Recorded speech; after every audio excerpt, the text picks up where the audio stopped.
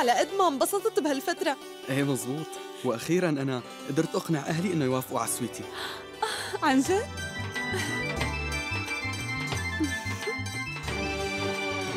هذا أحلى خبر بسمعه بهالفترة. مشان هيك سويتي كانت حابة إنه تجي لعندكم وتضل كم يوم معكم. مبروك يا حبايبي عن جد فرحتونا. ماشي. سويتي بنتي. بما أنك هلأ جاي تقضي كم يوم معنا. لهيك أنا في عندي كم شغلة رح أخلصهم وبرجع. وجهزي لي حالك على المسا في عنا كتير شغلات بدنا نحكيهم اليوم بالسهرة تبعنا. أنا ما رح طول. عندي شغل مهم بالمحل بخلصه وبرجع. شبك يا عمي؟ ليش مزودة ارتاح لك شي يوم من الشغل. خلي كاراني يروح بدالك. أنت خليك هون اليوم.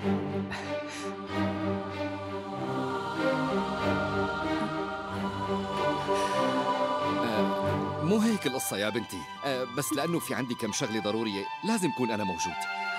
أنا على المسا بكون رجعت. ماشي أنا رضيت بس بشرط بدك تجيب لي حلويات من المحل اللي ناحك. مشتهية آكل من عنده. ماشي؟ حلوياته كتير طيبة.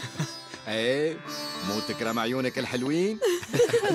يلا بشوفكن المساء. مرت عمي؟ منى كيف صحتها؟ منى صحتها منيحة. هي كتير مشتاقت لك كمان. تعالي تعالي سلمي على جدك وبعدين بنشوف منى. ماشي.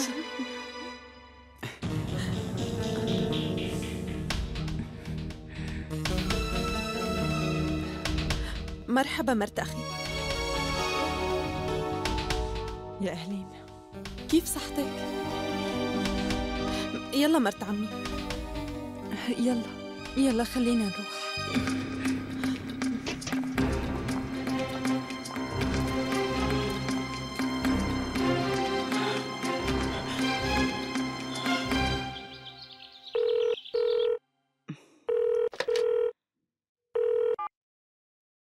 ألو؟ يسلم لي هالصوت أنا بجال؟ كيفك أمي؟ منيحة ما رح تقولي لي كيفك؟ مو مشتاقتي لي؟ شو أخبارك؟ أنا مو عجبتني هالقعدة بلاكن أبدا بس أنا مو لهيك اتصلت أبي موعد ميلاده بكرة لساتني متذكرة أنتوا ما بلشتوا تحضيرات لتحتفلوا بهذا اليوم؟ إيه. أنا حكيت لحتى أعرف شو بدكم.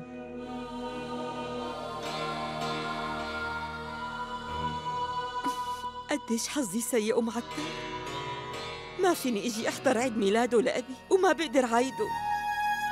بتعرفي أنا كنت مستنية عيد ميلاد أبي لحتى يجي مشان أحتفل فيه وآخذ رضاه. بس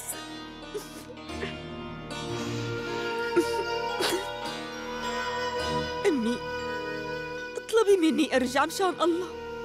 أرجوك. بيجال أنت ما خليتي لحالك باب بهذا البيت لترجعي منه.